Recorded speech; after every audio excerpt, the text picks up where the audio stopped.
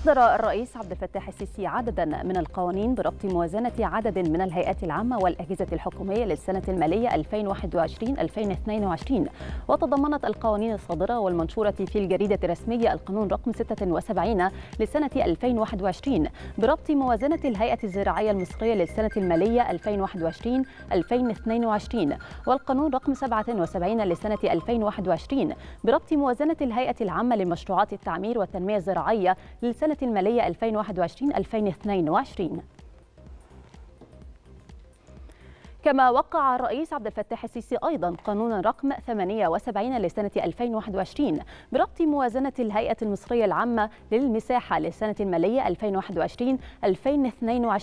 بقيمة إجمالية تقدر ب 910 ملايين و300 ألف جنيه.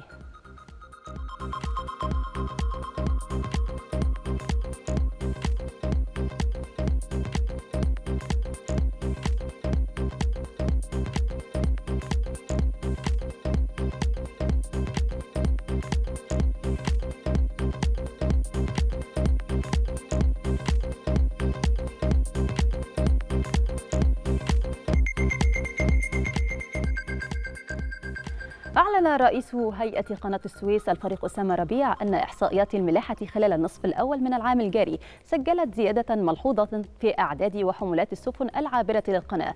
وشهدت حركة الملاحة بالقناة في الفترة من يناير إلى يونيو 2021 عبور 900 و700 و 9763 سفينة مقابل عبور 9546 سفينة خلال ذات الفترة من العام الماضي وللمزيد في سياق التقرير التالي.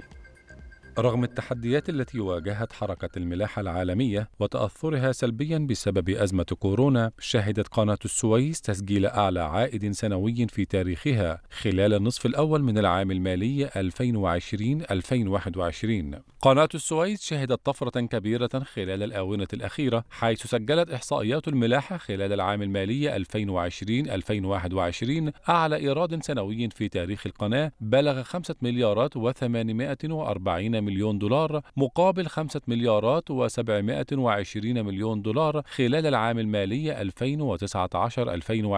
2019-2020 بنسبة زيادة قدرها 2.2% كما حققت عائدات القناة خلال النصف الأول من العام المالي الحالي نحو 3 مليارات دولار مقابل مليارين و760 مليون دولار خلال تلك الفترة من العام المالي الماضي بنسبة زيادة قدرها 8.6% بفارق 237 مليون دولار ونجحت السياسات التسويقية والتسعيرية المرنة التي انتهجتها هيئة قناة السويس في الحفاظ على معدلات عبور السفن بالقناة وكسب ثقة العملاء حيث ساهمت تلك السياسات خلال النصف الأول من عام 2021 في جذب 2519 سفينة محققة إيرادات قدرها 620 مليون دولار كما لعبت الحوافز والتخفيضات الممنوحة دورا بارزا في تحقيق طفرة كبيرة على صعيد زيادة معدلات عبور كل من سفن الغاز الطبيعي المسال وسفن الحاويات وحاملات السيارات وسفن الصب الجاف خلال الفترة من يناير إلى يونيو 2021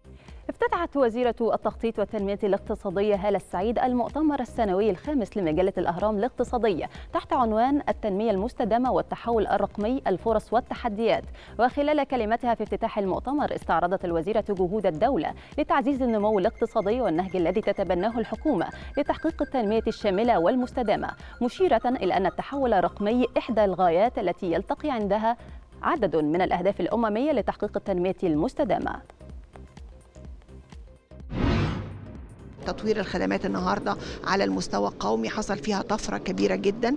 بنتكلم على تطوير كافة الخدمات النهارده من خلال عندنا بوابة مصر الرقمية اللي هي تتعامل مع كافة الخدمات اللي بتتم سواء هذه الخدمات بتتم من خلال البوابة بتتم من خلال المحمول بتتم من خلال المراكز المتنقلة أو المراكز الثابتة اللي قامت بيها وزارة التخطيط في المحليات أو النهارده الخدمات اللي بتتم مع وزارة العدل من خلال التوثيق والشهر العقاري.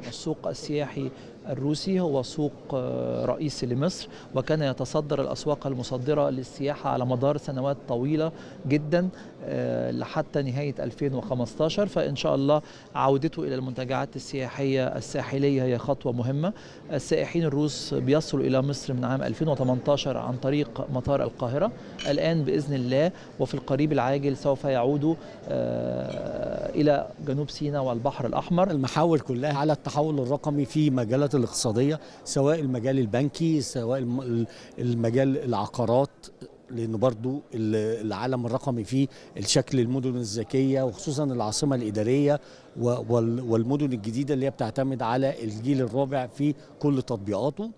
عندنا السياحة والطفرة اللي هي بتحصل فيها وكل التحول الرقمي اللي في مجال السياحة الإلكترونية والحفاظ على المقاصد السياحية والزائرين ليها بعد الأزمة الأخيرة.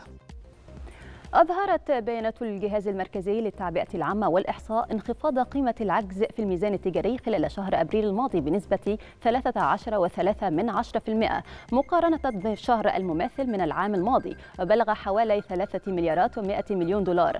وأوضح جهاز الإحصاء أن قيمة الصادرات ارتفعت بنسبة 47.4 من 10% حيث بلغت حوالي مليارين و840 مليون دولار مقابل نفس الشهر من العام السابق. وأرجع جهاز الإحصاء زيادة الصادرات الصادرات إلى ارتفاع قيمة صادرات بعض السلع وأهمها الأدوية والفواكه. أنهت البورصة المصرية تعاملات جلسة اليوم بداية جلسات الأسبوع بتراجع جماعي للمؤشرات للجلسة الثانية على التوالي بضغوط مبيعات المتعاملين المصريين والأجانب. وخسر رأس المال السوقي حوالي مليارين و600 مليون جنيه ليغلق عند مستوى 655 مليارا و214 مليون جنيه حيث تراجع مؤشر EGX 30 بنسبة 31 من 100% ليغلق عند مستوى 10153 نقطة. هبط مؤشر الشركات الشركات الصغيرة والمتوسطة EGX 70 متساوي الأوزان بنسبة 1.1 من 100% ليغلق عند مستوى 2296 نقطة. وانخفض مؤشر EGX 100 متساوي الأوزان بنسبة 89 من 100% ليغلق عند مستوى 3224 نقطة. إلى أسواق العملات حيث تباينت أسعار العملات أمام الجنيه المصري ليسجل الدولار الأمريكي حوالي 15 جنيه و63 قرشا للشراء 15 جنيه و75 قرشا للبيع. أما عن سعر اليورو فوصل سعره إلى 18 جنيه و55 قرشا للشراء 18 جنيه و71 قرشا للبيع. بالنسبة لسعر الاسترليني وصل سعره إلى 21 جنيه و72 قرشا للشراء 21 جنيه و90 قرشا للبيع. أما عن أسعار العملات العربية فقد سجل الدرهم الإماراتي حوالي 4 جنيهات و25 قرشا للشراء و4 جنيهات و28 قرشا للبيع. بالنسبة لسعر الريال السعودي وصل سعره إلى 4 جنيهات و16 قرشا للشراء و4 جنيهات و20 قرشا للبيع. إلى أسواق المعادن النفيسة حيث استقرت أسعار الذهب العالمي ليصل إلى 1008 دولارات للأوقية على الصعيد المحلي استقرت أسعار الذهب محليا بالتزامن مع الإجازة الأسبوعية لسوق الصغى حيث سجل الذهب عيار 18 نحو 674 جنيه. أما عيار الذهب 21 فوصل إلى 787 جنيه. بالنسبة لعيار الذهب 24 وصل سعره إلى 899 جنيه. أما عن سعر الجنيه الذهب فوصل سعره إلى 9200 6296 جنيه. أكد وزير النفط العراقي إحسان عبد الجبار حرص الحكومة على النهوض بقطاع الإنتاج في شركة نفط الشمال والعمل على زيادته وإدامته وتطويره. وقال وزير النفط العراقي إن الوزارة تهدف إلى الإسراع في معالجة المشاكل والتحديات الفنية والاقتصادية والأمنية والانطلاق بخطط زيادة وإدامة الإنتاج بالاعتماد على محور التطوير بالجهد الوطني ومحور التعاون مع الشركات العالمية.